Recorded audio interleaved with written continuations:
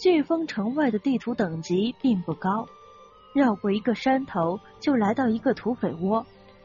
这里都是十五级的人形怪，不过这里的怪都是一群一群出现的，见人就全攻，而且刷新又快，所以新人们倒是很少来这里练级。不过对于叶慈和老四来说，这里还真是一个练级的好地方。叶慈直接把老四找出来，然后冲上去。几个全体技能就能扫空一片。要是有什么遗漏的话，叶慈再用上乱射补上几件，基本上也就全部挂了。这里的怪等级低，叶慈是没有什么经验。可是对于只有一级的老四来说，这里可是刷级的好地方。不过三四天的时间。老四的等级已经冲上了十七级。这天下线，叶慈才给自己泡了一碗方便面，对付一下肚皮，就听见钥匙开锁的声音。他心中一动，知道是父母和白墨回来了，连忙咚咚咚的跑过去，抢在钥匙拧开门之前就打开了门，兴奋的叫着：“爸妈，你们回来了！”可是他才叫人就愣住了，这第一个挤进门的是一个十四五岁的小男生，皮肤白净，脸色微微有些苍白，情绪也不是很高。总之，跟一脸兴高采烈的叶慈是云泥之别。他抬头就和叶慈对上了目光，不过他没有说话，只是轻轻的跟叶慈点点头。算是打过了招呼，不是这是谁呀？叶慈正愣着呢，左小兰挤进了屋，一把就把叶慈拉开了。哎，这么大个人了，见人回来还不让个地方，都在这里收过路费呀！说着，他又拉着那个小男孩，低头轻声细语的温柔说：“破浪呀。”这以后就是自己家了，别拘束。叶慈莫名其妙的看着左小兰，然后又看见叶南天也跟着进了屋，吸了吸鼻子，才又看着他。小慈啊，你又不好好吃饭，家里不是还有东西吗？快点去给破浪弄点吃的过来。叶慈更加觉得莫名其妙了，这是咋回事呀？走在人群最后的白墨，他拖着行李，反正是比去的时候多多了。冲着叶慈就嚷嚷：“别愣着呀，快点过来帮忙，下面还有呢！”望着白墨把手里的东西给撂在屋里以后，一头雾水的叶慈就着下去搬东西的名，一把就拉过了白墨，扯着他往楼下冲去。现在这个情况实在是太诡异了，他一定要找一个明白人给他说说，到底发生了什么事情。白墨是厚道人，并没有给叶慈卖关子，两个人一边往楼上倒腾东西，一边就把这个事情给叶慈前前后后的说了个明白。原来。上面那个小孩是左小兰恩师谭老头的孙子谭破浪，他父母和爷爷奶奶都因飞机失事全部都不在了。这次左小兰和叶南天他们赶过去也是为了这个事情。谭老头家里没有什么亲戚，没有人操办后事，所以这后事全部都由这一帮学生给张罗了。等后事张罗完了，就只剩下这个小男孩了。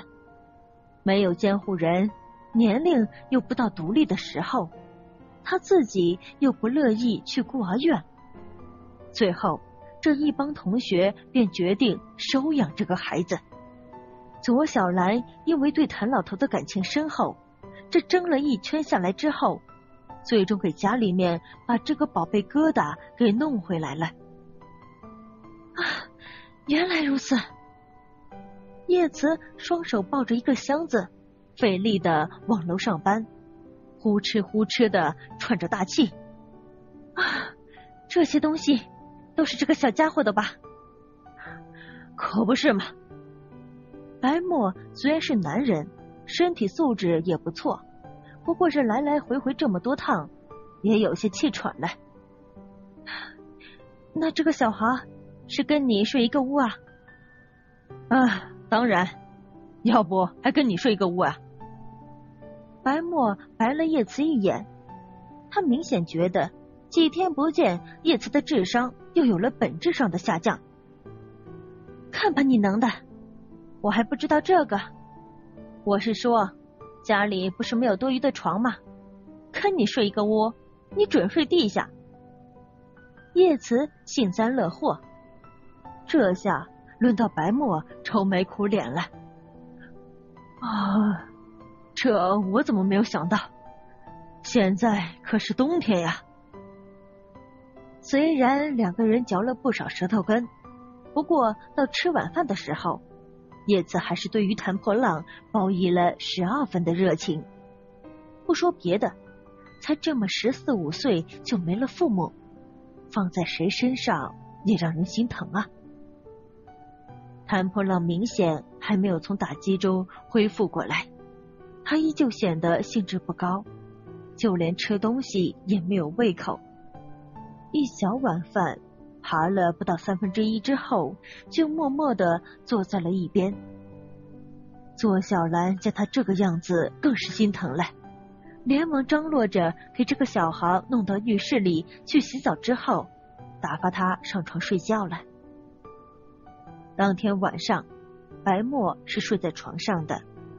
他那张一米五的床，两个人睡也没有什么，就是他总觉得别扭。一晚上，谭破浪都显得很安静，不过白墨总觉得他有点安静的过了头。早上，白墨醒了之后，就看见谭破浪坐在床边上。静静的看着白墨靠在墙角的游戏舱出神，他以为小孩又神游太虚去了，也没有多问，只是拍了拍谭破浪的头，让他再睡一会儿。白墨前脚刚走，谭破浪后脚也跟着起了床。出了屋以后，他抬头就看见叶慈那打开房门的屋里，也同样放着一个游戏舱。于是又站在那里发愣了半天，直到左小兰叫他吃饭，他这才回过神来，快步的走到桌边上坐了下来，也准备开始吃饭。破浪呀，吃这个，阿姨的拿手好菜呢，你哥哥姐姐都喜欢吃。左小兰夹了一个煎得金黄的茄盒，放在了谭破浪的碗里。谢谢。谭破浪也不抬头，只是低声的道了一声谢。谢啥？一会儿阿姨、叔叔、哥哥姐姐陪你出去逛逛。我们这里周围有不少好景色呢。叶南天呵呵的笑着，一脸高兴的样子。我不想去。谭破浪声音不大。却让左小兰和叶南天那兴高采烈的劲头一下子凉了不少，谁也不知道在说什么，吃饭的气氛就变得有些尴尬了。叶慈抬眼望了望坐在自己身边，低头往嘴里扒着饭粒的谭破浪，眼睛眯了眯，然后不疾不徐的说：“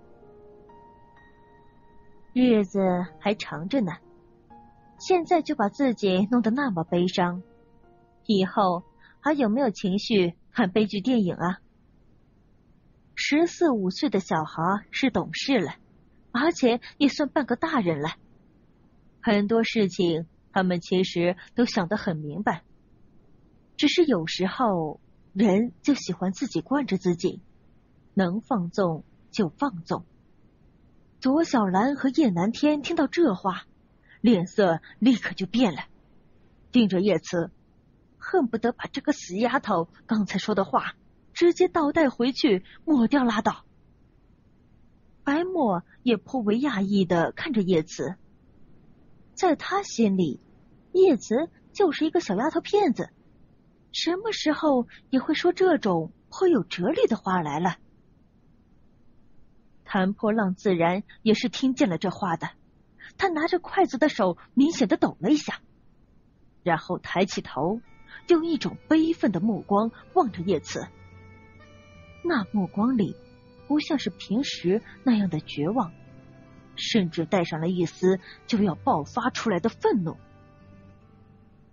叶慈望着他这个样子，想起自己上一世的时候失去父母的样子。似乎当时也是这么一副要死不活的样子。他轻轻的扯了扯嘴角，又夹了一筷子菜在他的碗里。吃吧吃吧，你得有力气才能可劲的哭，可劲的悲伤。要是不吃饱，哪来的力气？谭破浪听到叶慈这么说，猛地站了起来，他的身体不停的颤抖着。看起来愤怒极了，不过就算这样，他也没有说一句话，只是用那双已经因为愤怒而充血的眼睛瞪着叶慈，恨不得直接把他吃了一样。看我干嘛？叶慈眯了眯眼睛，皮笑肉不笑。小男孩到底经不住这样的刺激，撂下筷子，推开椅子。开了门就冲了出去，破浪破浪！左小兰大叫起来：“白墨，快跟上去看看！”白墨也被这突如其来的事情给搞懵了。左小兰这么一说，这才寻思过来，立刻也追了出去。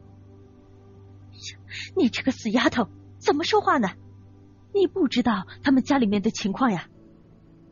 左小兰伸手就拍了叶慈两下，看样子他是真的生气了。有你这么当姐姐的吗？往人家的伤口上撒盐是好玩的事情吗？叶南天见左小兰已经毛了，立刻拉住她：“老婆，老婆，你消消气。”又不停的给叶慈使眼色：“死丫头，还不快去跟着找找看，要是人丢了怎么办？”叶慈哦了一声，不紧不慢的起身穿鞋，根本就把左小兰的大呼小叫不放在心上。他叹了一口气：“唉，这小男孩的自尊呐！”谭破浪已经很多天没有好好吃东西了，这一点叶慈是听白墨说的。正是因为知道这一点。叶慈也一点也不担心谭破浪能跑到什么地方去。再说，不是还有一个白墨跟着吗？他慢悠悠的下了楼，然后才掏出了手机，给白墨拨了一个电话，确认了白墨已经抓到了那小子，两人正在街心花园呢，就不慌不忙的晃着过去了。远远的。他就看见两个人坐在一条木头椅子上，白墨像个知心大哥哥一样，对着身边的谭破浪开导着什么，不过显然没有什么作用。那小子根本就不搭理他。叶慈转身朝着一边的牛肉面饭馆走去，订了两碗面，让人一会儿送过来。他这才走向了两人，还没有靠近。白墨就听见他的脚步了，转头看着他，只见叶慈微笑着说：“白墨，你回去吧。”嗯，白墨有点奇怪：“你怎么来了？”“我不能来啊，你回去吧，再不回去就没菜了。”叶慈就站在白墨的后面，面色沉静。白墨还想说点什么。不过叶慈却摇摇头，他了解叶慈的意思，有些事情大概是解铃还需系铃人吧。于是他也不多事，站起身，拍了拍谭波浪的头，转身离开了。白墨一走，叶慈就坐下来，他也不说话，就是望着天空。这天气还真不错，就是天干冷干冷的，那小风吹在脸上，就好像刀子在割脸一样的疼。谭破浪望了叶慈一眼，立刻想站起来，却冷不丁的听见叶慈冒出一句话来。就你那小身板，跑吧，跑不了多远就得趴下。谭破浪的身体又抖了起来，这回不知道是生气还是冷的，因为刚吹了一阵凉风过去，连叶慈这个裹着棉衣的人都冷得抖了一下，更不要说这只穿着一件单薄毛衣的小孩子了。他终于是忍不住了，爆发出来：“我和你有仇吗？没有。我招惹你了吗？”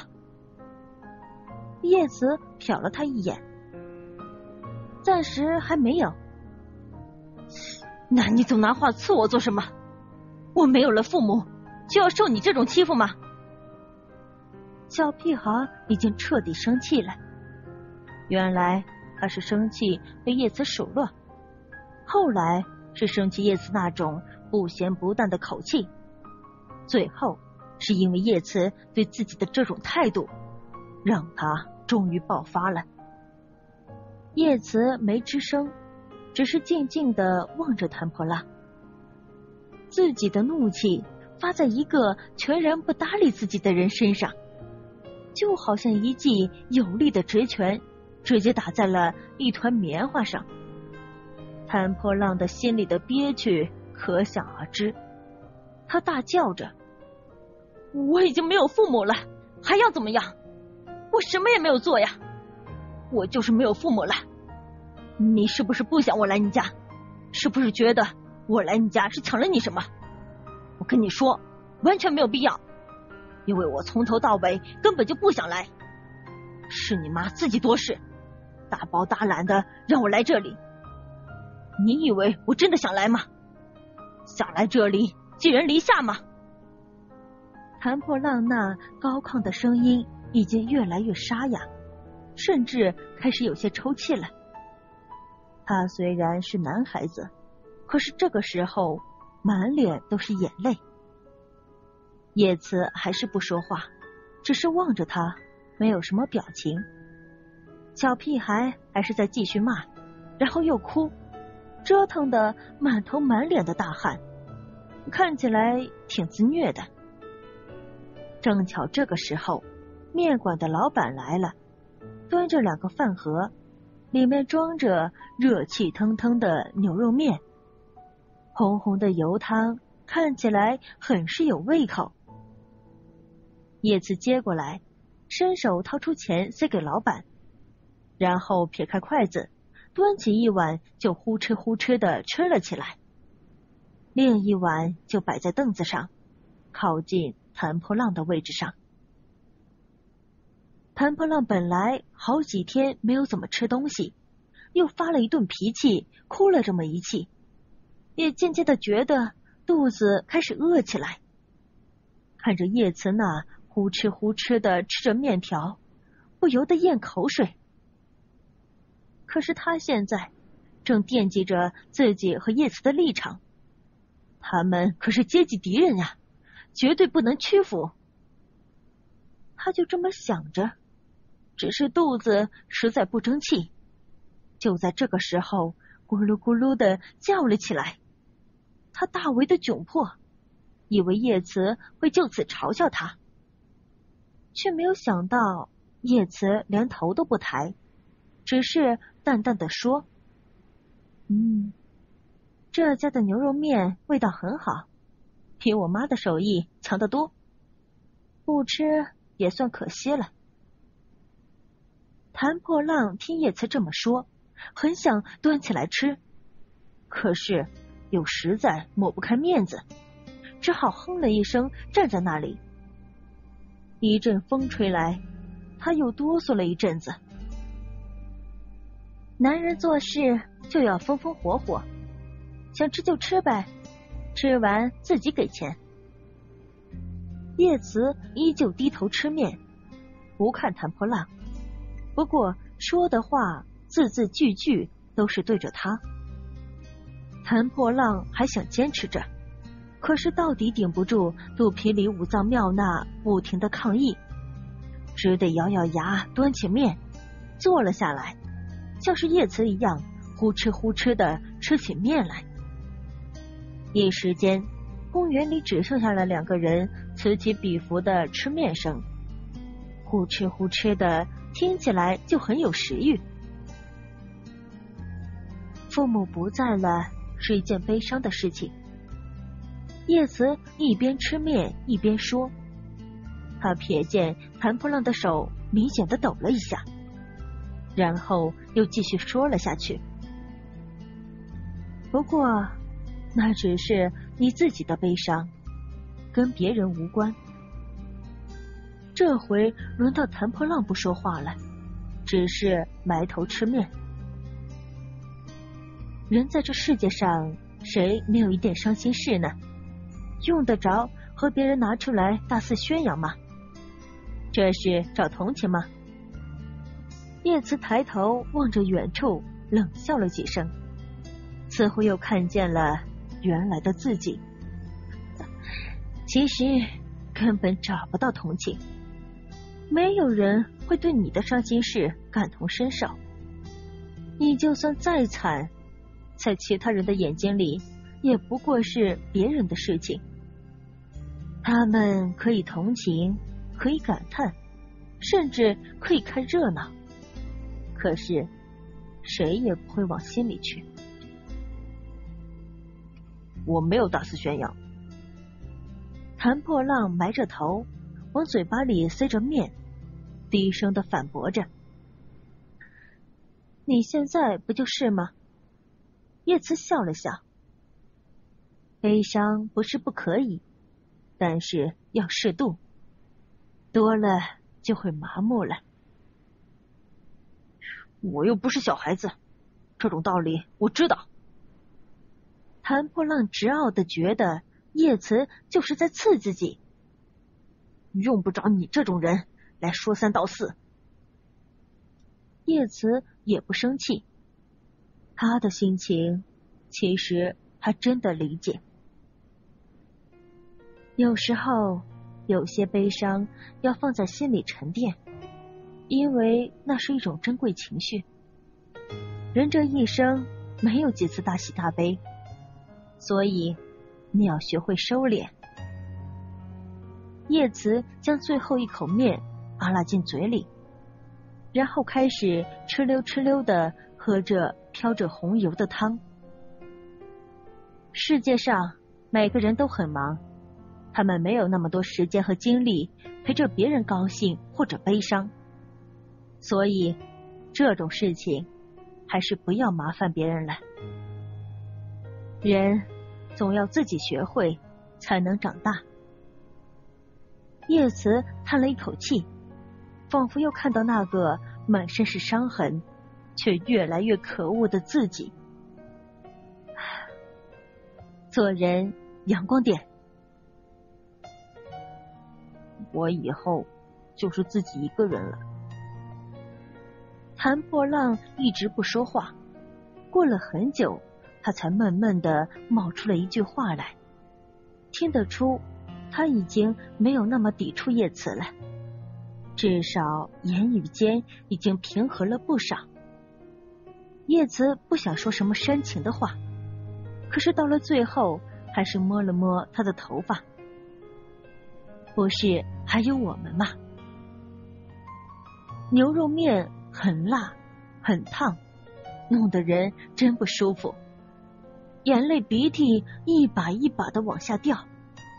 潘普朗觉得眼睛都花了，什么都看不清楚。他吸了吸鼻子。伸出袖子擦了一下脸，然后低着头，闷声闷气的说：“我没有钱付牛肉面，算我借给你的，以后你有了就还给我。”你很烦，你也不见得多招人喜欢。等他们回到家以后，左小兰、叶南天和白墨都十分好奇，叶慈到底和谭破浪说了些什么。不过关于这件事情，叶慈和谭破浪都默契的保持了最高的机密状态，谁也不说。